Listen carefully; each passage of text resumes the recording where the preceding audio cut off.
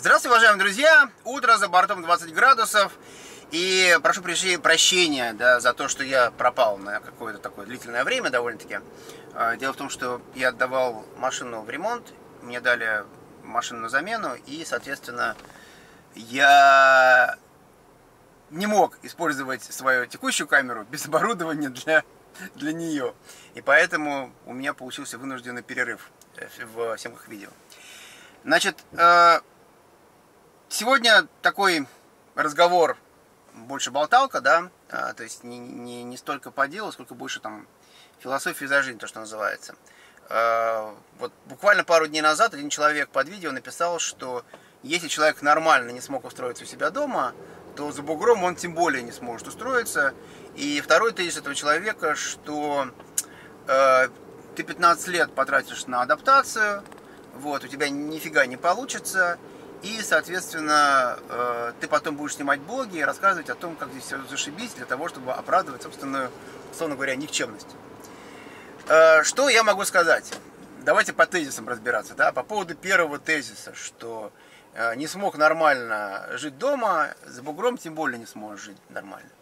Значит, начнем с того, что э, этот тезис во-первых, он имеет право на существование, да, то есть спасибо за свое мнение, э, было очень интересно и познавательно. Э, но, э, опять же, исходим из того, что каждый человек, понятное дело, судит со своей колокольни, да.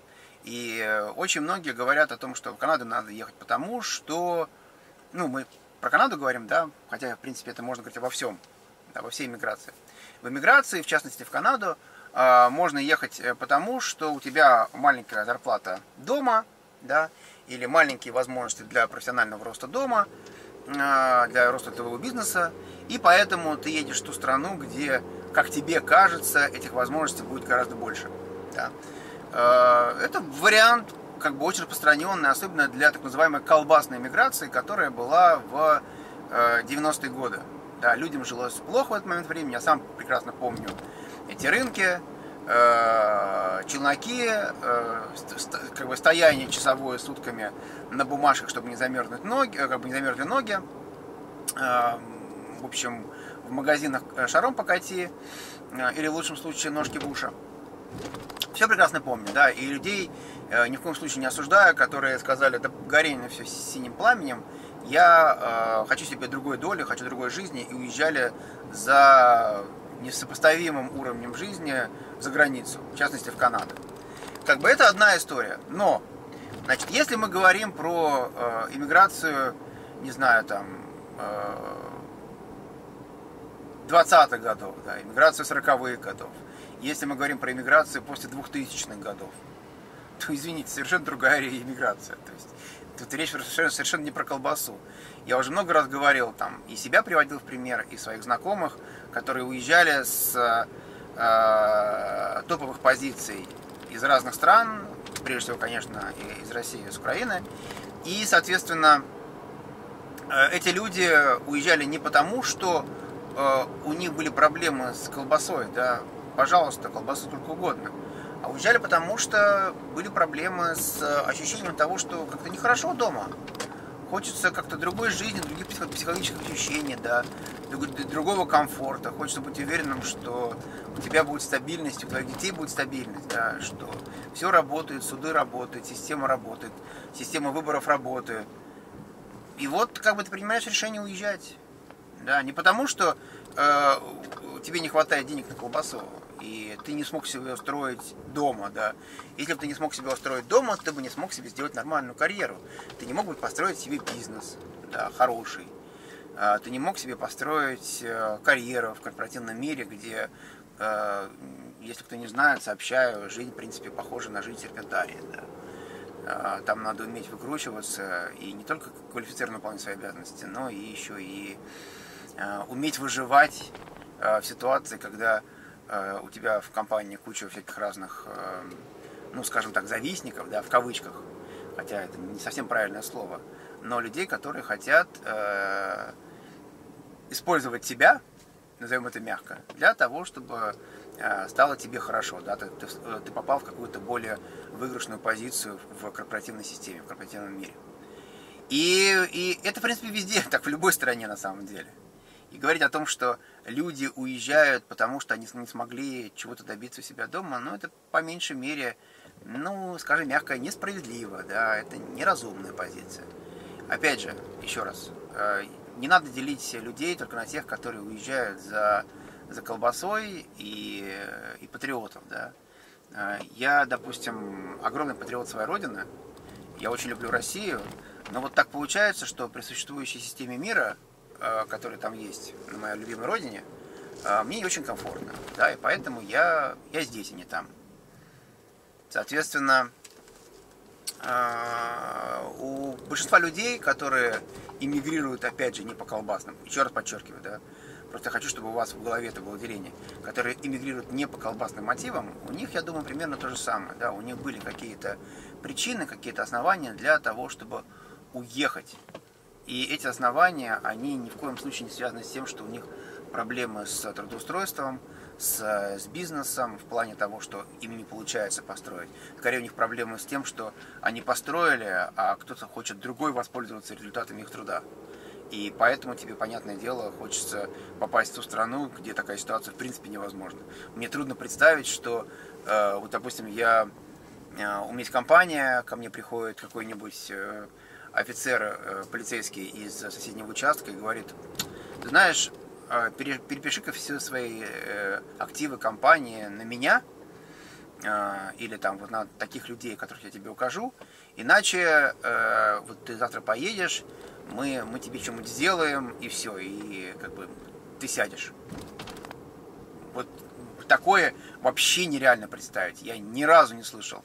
Даже вот те люди, которые там э, всячески ругают, критикуют э, Канаду, э, даже похожего никто никогда ничего не говорил. Здесь свои минусы, как бы я про них честно всегда говорю.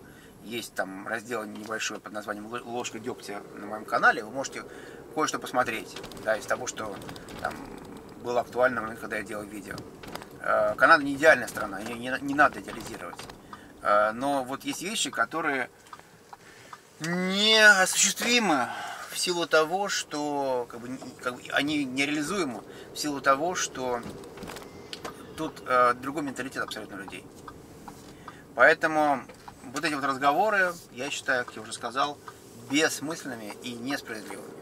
Теперь второй тезис по поводу того, что никому ты здесь не нужен, 15 лет будешь э, значит, э, тратить на то, чтобы э, построить свою карьеру, а в итоге, значит, ничего у тебя не получится и будешь заниматься записыванием блогов, рассказывая, аргументируя тем, как тебе здесь хорошо, а на самом деле все не так. Значит, все, опять же, зависит от человека и мотивации для чего человек приезжает в Канаду. Если человек приезжает сюда за велфором, за тем, чтобы ничего не делать, но при этом получать деньги, это будет как бы одна история. Если человек сюда приезжает для того, чтобы добиться чего-то, он добьется этого. Просто как бы ему надо будет начать с нуля. Ему надо будет два раза быстрее бежать для того, чтобы добиться. И он добьется, я вас уверяю. Здесь э, чем хорошо, это тем, что если ты что-то хочешь, то все исключительно в твоих руках. Здесь не надо никому ничего доказывать. Здесь надо просто делать все как полагается в плане того, что вот э, правила игры и законы предписывают, что ты должен сделать вот это, вот это, вот это. Если ты сделаешь вот это, вот это и вот это, ты получишь то, что ты должен получить. Тебе не надо э, узнавать дополнительно в процессе бега, да, в кавычках, что на самом деле ты между вот этим и вот этим должен был сделать 2.3 пункт, а между пунктом 4 и 5 ты должен был сделать пункт 4.4.3. И ты узнаешь об этом в процессе. Нет, система здесь так не работает. Система работает абсолютно адекватным образом, с расчетом на то, что простой обыватель, простой средний человек все прекрасно будет понимать. Понимаете? Вот, вот о чем речь. И, соответственно, вопрос только мотивации и желания. И блогеры, на самом деле, если мы говорим про блогеров, есть те люди, которые э, в силу своего характера, они ну, такие вот, ну, нытики, да, им хочется поныть, там, по, а, пожаловаться на жизнь, там, и так далее. Потому что, ну, вот им не собраться, да. Есть, есть люди, которым не собраться. Они ищут всегда обвинения, как бы есть объяснение э, всем своим неудачам не в себе сами, в самих, а во внешних каких-то силе, внешних, внешних каких-то факторах. И у меня как бы были примеры в жизни людей, которые вот им говоришь, ну ты сделай вот так, вот так, вот так, и получишь результат. Да нет, ты не понимаешь, как бы тебе легко говорить, у тебя все вот так, а у меня вот так. Я говорю, ну ты, ты сделал это? Нет, не сделал, но опять же, как бы я знаю, что если я буду делать так, все равно я этого не получу. Ну вот, как бы есть такие люди, вы, у вас у всех наверняка такие люди в окружении есть. А, Канада в этом плане, она только обнажает эти вещи, да, то есть, потому что там ты ноешь у себя дома, на родном языке, э, тем людям, с которыми ты вместе учился в школе, в институте, а здесь ты будешь э, пытаться ныть, э, пытаясь призвать к состраданию тех людей, которые на твоем языке тебя слушают в, твоих видео, или же э, значит, пытаться сказать это местному, да, на каком-то ломаном английском или французском языке. С результатом, на самом деле, тем же самым нулевым. Но, опять же, проблема-то, как вы понимаете, не в э, том, что Канада такая плохая, да, а в том, что у человека такие вот врожденные данные, которые он совершенно не хотел исправлять в лучшую сторону. Хотя все данные абсолютно можно исправить, вопрос только в том, хочешь ты это исправить или не хочешь. Ну и опять же, зачем э, блогеры делать видео? Ну, в большинстве случаев, как бы это возможность просто либо выговориться, либо помочь. Вот у меня, допустим, изначально желание сделать этот блог было рассказать людям о том, э, вот, как, как оно в Канаде. Просто. Э, с, вот с моей колокольни, да, я всегда говорю, что э, не слушайте блогеров, не воспринимайте то, что они говорят, как истину последней инстанции, потому что это их личный опыт. У другого будет другое, да, вот там есть э, блогер, э, не буду его называть, вы все прекрасно знаете, он постоянно там поливает помоями Канаду, говорит, что она там, и США там, говорит, что они там плохие, нехорошие там и так далее. Вот. Это его опыт, может быть у него система мира такая. Э, любая страна в массе своей, э, цивилизованная страна, да, я не говорю какая-нибудь Африка, африканская страна, любая цивилизованная страна, она в общем и целом на самом деле очень комфортная и хорошая. Но в ней есть э, свои недостатки. Да, и можно циклиться на этих недостатках, а можно наслаждаться достоинствами. Вопрос, э, какую сторону ты займешь э, в этой системе мира, как бы это вопрос к тебе, только к тебе, никому другому. И поэтому, как бы, если вам близок такой тип людей, вы смотрите такой тип людей. Другой тип людей, вы смотрите других блогеров. И еще раз хочу сказать, что блоги это прежде всего в массе своей желание либо поделиться с окружающим миром, что у тебя происходит в жизни, да, а, либо желание просто помочь. Вот у меня было желание помочь. Я хотел рассказать, показать, а, как оно здесь в Канаде, рассказать про иммиграцию в Канаду, и, как вы знаете, потом это выросло в то, что это стало моей профессией. Я теперь специалист по иммиграции, хотя изначально не планировал им быть. И, соответственно, э, параллельное мое желание еще было в том, чтобы, скажем, ну, вы вместе со мной, кто со мной много-много-много лет, э, испытывали все взлеты и падения, связанные с жизнью в Канаде, да. Вы вместе со мной прожили в Шербруке много лет. Вы вместе со мной переехали в э, Кот де Нэш. Вы вместе со мной переехали потом на Вест-Айленд. Э, вы вместе со мной поменяли кучу машин уже. Ну, как бы это моя повседневная жизнь. И я делюсь тем, что я вижу, тем, что я слышу, тем, что э, я считаю интересным и важным рассказать вам. А ваше дело уже принять э, примерить к себе и либо согласиться, либо не согласиться. Но это моя точка зрения, и э, это просто моя точка зрения, да. Я такой же человек, как и вы все. Поэтому вот. Ладно, на этом я свою философию, философию заканчиваю и откланиваюсь. Всем отличной недели и счастливо. Пока.